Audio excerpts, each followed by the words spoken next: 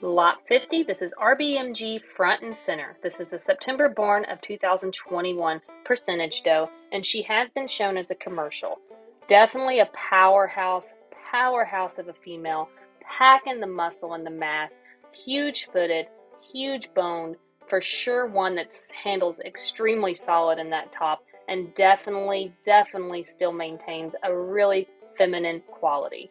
This is the type of female that if you breed her to those maker style bucks, you're going to get those super cool, ultra fancy kids, and definitely the all around complete and blended package.